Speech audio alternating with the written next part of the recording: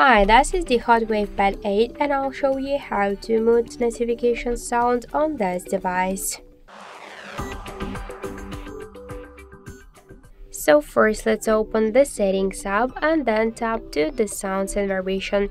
Here you'll see ring and notification volume panel and just to mute notifications you should slide to the left side this just volume panel with your finger.